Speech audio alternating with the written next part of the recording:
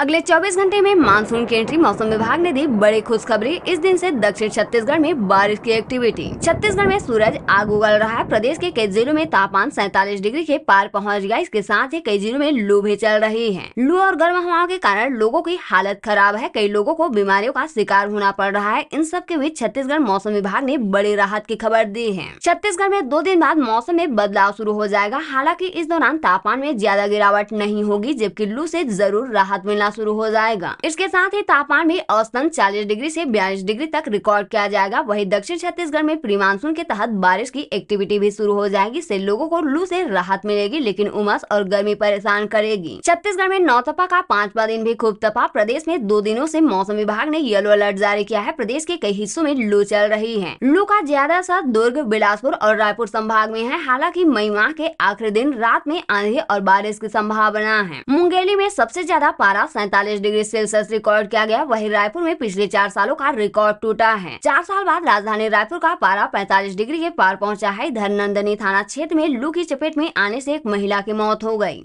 बता दें की साठ साल की बुजुर्ग महिला भद्राबाई नर्सरी में काम कर रही थी तभी उसे अचानक ऐसी चक्कर आया और उसकी मौत हो गयी राजधानी में हीटवेव का असर दिख रहा है बढ़ती गर्मी को देख लोगो ने ए कूलर पंखा चौबीसों घंटे चालू कर रखा है ऐसे में बिजली की ज्यादा खपत होने से ट्रांसफार्मर में लोड बढ़ गया है लोड बढ़ने से कई जगहों में ट्रांसफार्मर उड़ रहे हैं ट्रांसफार्मर खराब होने से कई इलाकों में लोगों को बिजली नहीं मिलने के कारण रत जगा करना पड़ा नौतपा के पांचवे दिन पेंड्रा में मौसम में बदलाव हुआ जहाँ दोपहर के समय हल्की बारिश हुई वही तापमान में भी हल्की गिरावट आई इससे लोगों को भीषण गर्मी ऐसी राहत मिली छत्तीसगढ़ में भीषण गर्मी का प्रकोप जारी है मौसम विभाग ने इसको लेकर आज और कल येलो अलर्ट जारी किया है आज गरियाबंद धमतरी महासमुंद दुर्ग बालोद में हीटवेव चलेगी इसको लेकर मौसम विभाग ने अलर्ट जारी किया है इकतीस जून तक गर्म हवाओं का दौर जारी रहेगा इसके बाद एक जून ऐसी फिर ऐसी नमी नमीयुक्त हवा चलेगी इससे छत्तीसगढ़ में लू से राहत मिलेगी इसके साथ ही तापमान में भी गिरावट आएगी छत्तीसगढ़ में औसतन तापमान बयालीस डिग्री के आसपास रहेगा इसके साथ ही एक जून से दक्षिण छत्तीसगढ़ में प्री मानसून की बारिश होगी बता दें कि छत्तीसगढ़ के अलग अलग इलाकों में बारिश होगी इसके बाद तेरह जून से छत्तीसगढ़ में मानसून की दस्तक होगी